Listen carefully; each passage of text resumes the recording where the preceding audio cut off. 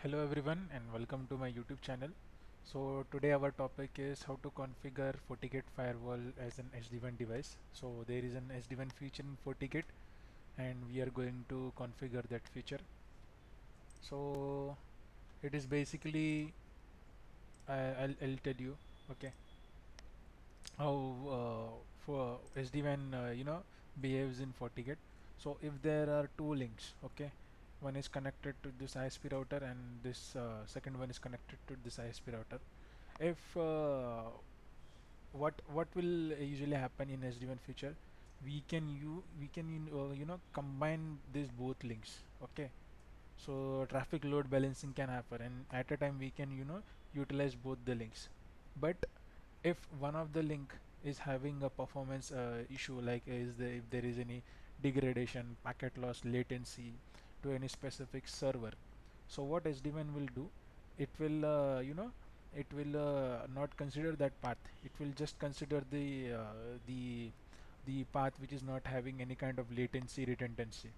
So we are going to configure this in our uh, today's video. I'll uh, show you. So first of all we will configure the interface configuration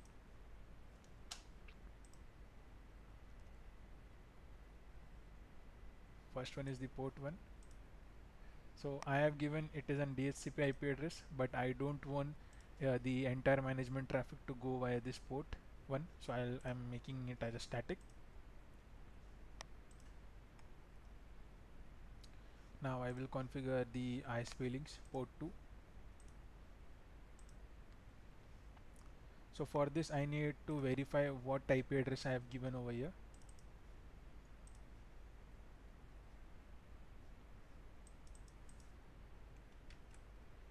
say I will say 1 slash 24 okay? And we are going to allow HTTPS SSH ping. And click on OK similarly I will uh, configure this port in the subnet port 2 sorry port 3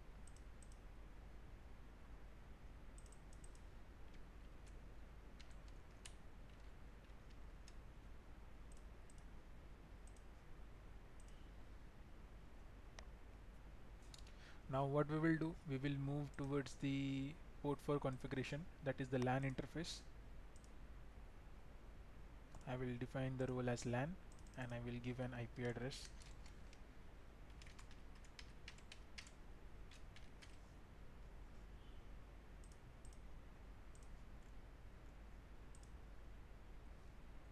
Okay.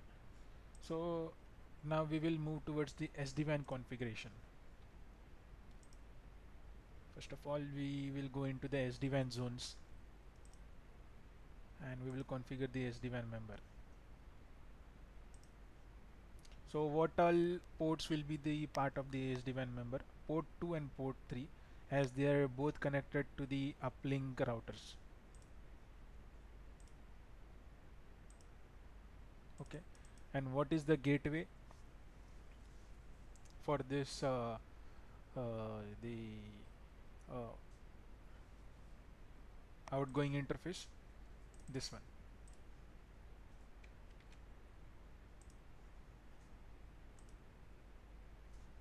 Okay.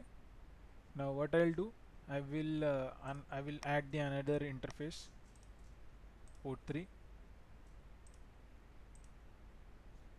and what is the gateway? This is the gateway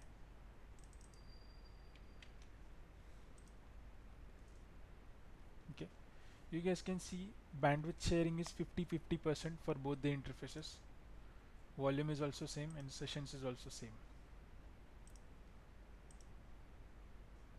If you want to create an uh, extra SD-WAN zone you can also do that. So we will try that only. Uh, we will uh, you know we will uh, not uh, add this interface as an existing interface. We will create an SD-WAN zone so that you guys can uh, understand properly how we can you know create an SD WAN zone as well.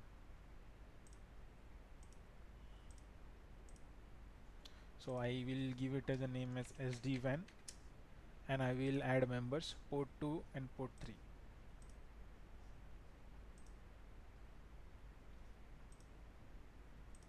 port 2 I mean IP address of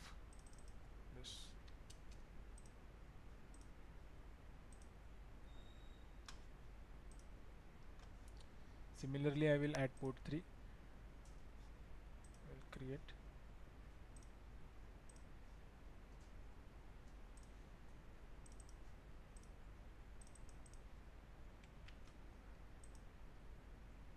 I will add it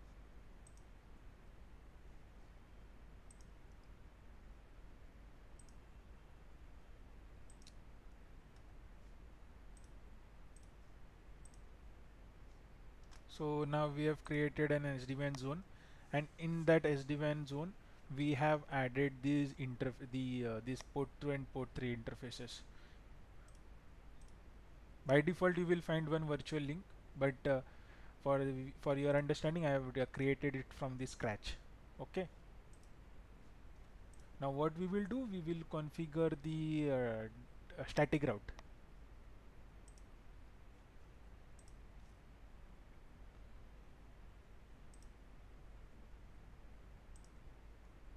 okay so what we have done if the if the if the LAN side users want to communicate with the internet so entire traffic will go to the SD-WAN interface. And in SD-WAN interface we have added these two interface. If you guys can see we can check over here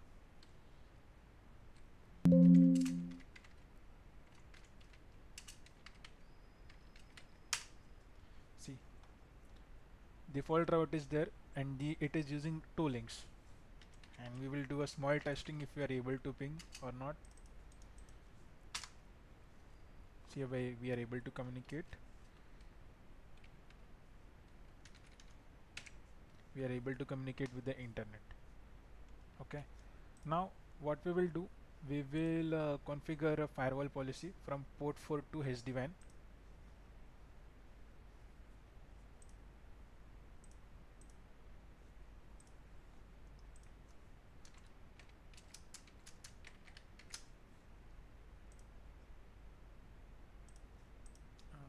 port 4 sorry.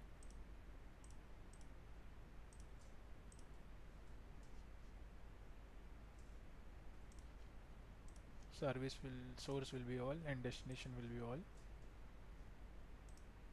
Okay. And uh, we have to enable the NATing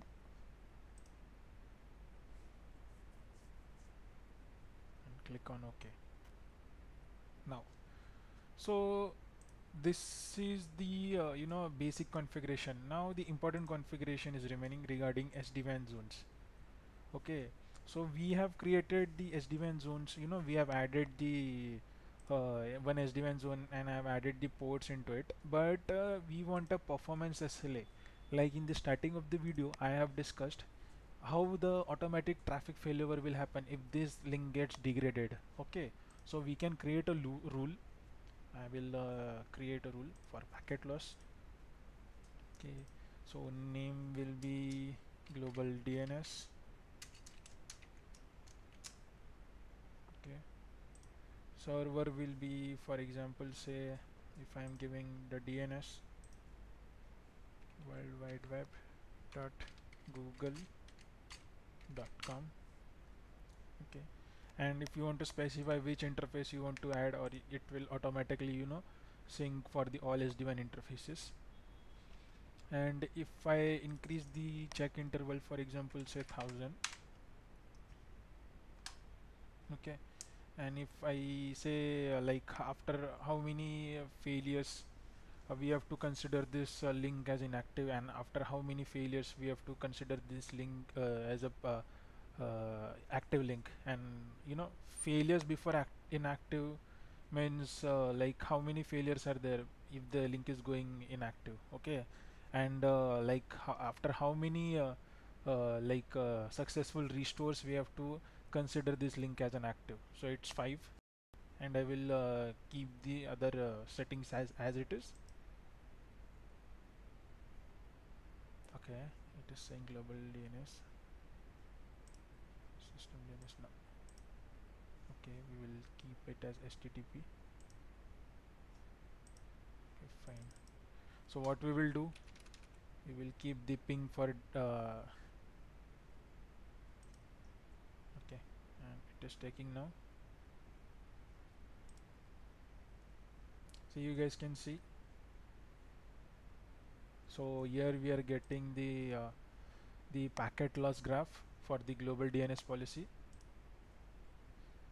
and the latency graph and the jitter graph. Now I'll uh, turn on this PC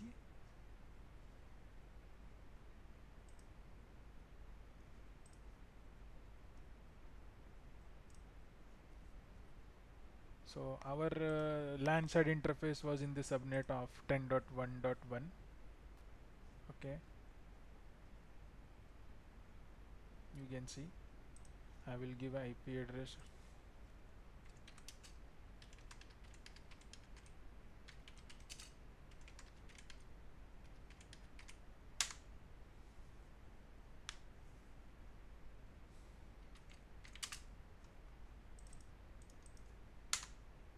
gateway is reachable. Now I'll see if the global DNS is reachable or not. It's reachable because the configuration is perfect. But uh, before moving forward I will show you some configuration which I have made on this routers.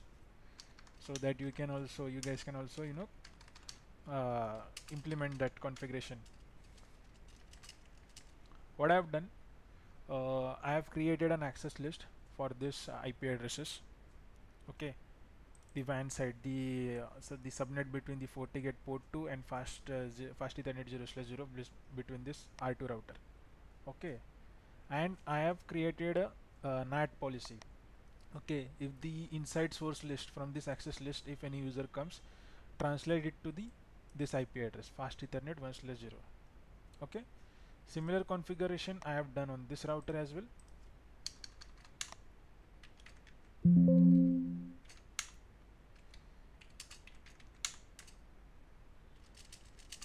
See, for the public IP, do the transl uh, translation if the user comes from this uh, uh, access list to this fast ethernet 1 slash 0 so what we are going basically doing we are translating the IP addresses uh, from uh, this IP address to the uh, the, the my laptop IP address which is going to connect to the my Wi-Fi modem. So if I do ping from here from the PC I'll do a repeat ping. And I'll see if the translation is happening or not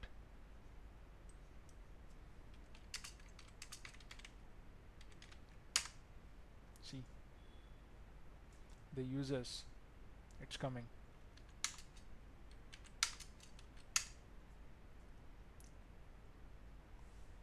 Traffic is coming from inside from 10 dot uh, slash 24 subnet. It is getting translated to this IP address. And this IP address is further getting translated to the public IP which is my laptop IP address. Similarly over here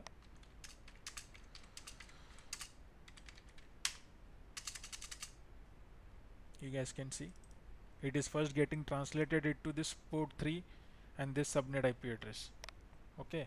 It is an inside global inside local and inside global is that the this interface IP address. So PAT is happening basically. So what we will do now I will go into the SD-WAN performance SLA if you click on global DNS you guys can see uh, according to the my home internet we are getting this graph this performance like how many latency is there. Okay? You guys can see. This is for port 2 this is for port 3 so you cannot you know reduce the latency but packet loss it should be zero. We can also see the jitter. Now what I'll do for testing purpose I'll shut one of this link. I'll shut this link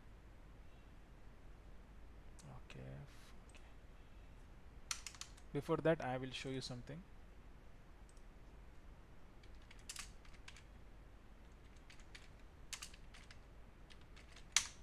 See as of now both the paths are preferable.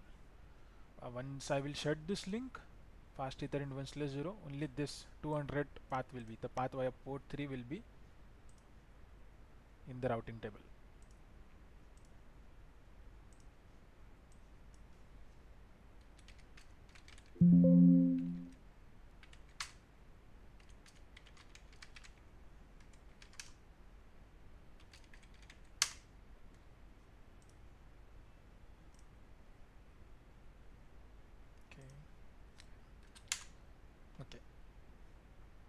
see as I said the path via port 3 is now in consideration.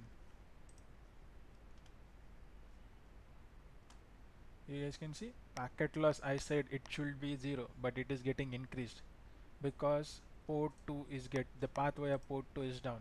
Actually the ISP interface is down. But path via port 3 it is still active. You guys can see latency will be getting increased. You cannot get latency because the pack there is no communication getting happen between this interface. You'll also see for jitter. Graph is not getting generated because there is no data there is no traffic traffic is getting dropped. What I'll do I'll, I'll again shut unshut it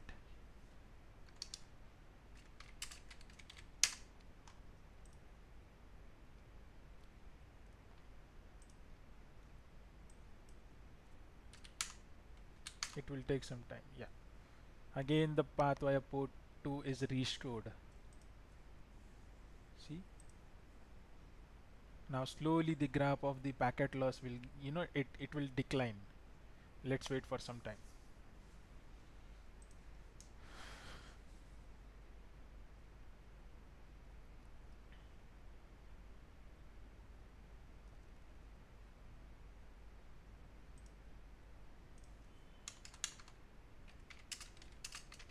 you guys can see that the graph is getting declined.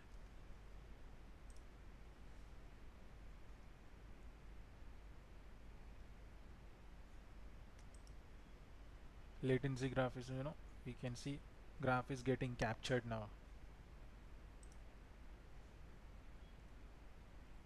So this is the feature you know which we can you know configure a FortiGate firewall to utilize both the links for load balancing method so this is a very advanced topic in FortiGate. I will cover more videos in future. So that's all for today's.